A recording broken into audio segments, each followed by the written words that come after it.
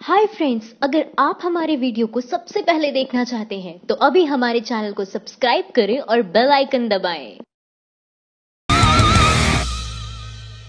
राहत नहीं, ये पेट्रोल के दाम करने के नाम पर खेल कर रही है सरकार। पेट्रोल के दाम में मोदी सरकार ने जो राहत दी है, वो तो दी है, लेकिन इसमें राहत से ज़्यादा राजनीति है। आपको बताते हैं कि कैसे बीजेपी ने पेट्रोल के दाम पर राहत की जगह राजनीति की। बड़ी बात यह है कि ये राहत राहत न होकर राहत का दिखावा ज़्यादा है। सरकार ने जनता से लिए गए पैसे तक उसे नहीं लौटाए हैं। जल्द ही मध्य प्रदेश, राजस्थान और छत्तीसगढ़ जैसे बीजेपी शासित राज्यों और तेलंगाना में विधानसभा चुनाव होने वाले हैं। चुनावों में बेमुश्किल डेढ़ से दो महीने का वक्त है।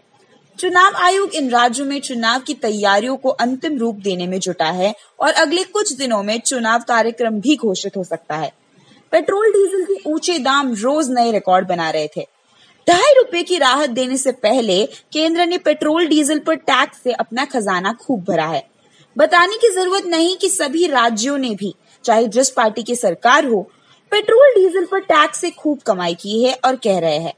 इससे पहले पिछले साल अक्टूबर में केंद्र ने पेट्रोल डीजल पर एक्साइज ड्यूटी में प्रति लीटर दो रुपए की कटौती की थी। सरकार ये दिखाने की कोशिश कर रही है कि उसने दाम कम कर दिया, लेकिन यहाँ मामला इतना सिंपल नहीं है। जब अंतर्राष्ट्रीय बाज़ार में कच्चे तेल की कीमत कम हो रही थी तो सरकार ने लगातार एक्साइज ड्यूटी बढ़ाकर अपना खजाना बढ़ाया और जनता को घटे दाम का फ़ायदा नहीं मिलने दिया। एक्साइज ड्यूटी दस बार बढ़ाई गई। लगातार खजाना भरने के बाद जब कच्चे तेल का दाम बढ़ने लगा तो सरकार को साफ़ सूंघ गया। वो बटोरे हुए खजाने पर कुंडली मारे बैठी रही। अब जितना पैसा कमाया था, उसके ब्याज के बराबर पैसों से डेढ़ रुपए लीटर का दाम कम करके वाहवाही लूट ली।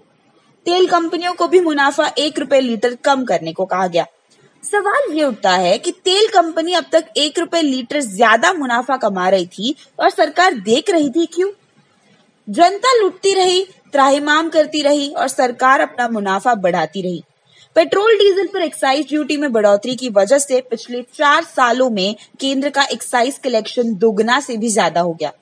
2014-15 में जहाँ केंद्र का एक्साइज कलेक्शन निन्यानवे दशमलव एक सौ चौरासी करोड़ रुपए था, वही 2017-18 में ये बढ़कर दो दशमलव तीन लाख करोड़ रुपए हो गया।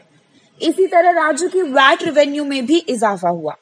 2014-15 में राज्यों का वैट रेवेन्यू एक दशमलव तीन लाख करोड़ रुपए था, जो 2017-18 में बढ़कर एक दशमलव आठ लाख करोड़ रुपए हो गया। प्रत्यक्ष कर संग्रह में इजाफा। इस साल अप्रैल से सितंबर के बीच भारतीयों ने पाँच दशमलव सैतालीस लाख करोड़ रुपए प्रत्यक्ष करों के तौर पर चुकाया है। यह पिछले वित्त वर्ष की पहली छमाही से 17 प्रतिशत ज़्यादा है। पर्सनल और कॉर्पोरेट टैक्स कलेक्शन भी 19 प्रतिशत बढ़ा है। जब भारतीय ज़्यादा टैक्स जमा करते हैं तो इसका मतलब है कि पहले से ज़्यादा लोग और कंपनियाँ टैक्स अदा कर रही है और इसका ये भी मतलब है कि वे पहले से ज़्यादा कमा रहे हैं। कॉर्पोरेट द्वारा एडवांस टैक्स जमा में 16 प्रतिशत और लोगों द्वारा एडवांस टैक्स जमा में 30 प्रतिशत का इजाफा हुआ है। वित्त मंत्री जेटली ने गुरुवार को ये भी कहा कि प्रत्यक्ष कर संग्रह में इजाफा से राजकोष घाटा को कम करने में मदद मिली है। उन्होंने पेट्रोल, डीजल पर राहत के लिए इससे भी एक वजह बताई। माइंड द न्यूज़ रूम की report. Thank you for watching our video अगर आपको हमारी वीडियो पसंद आई हो तो इसे लाइक ज़रूर करें और हमारे चैनल को सब्सक्राइब करना ना भूलें।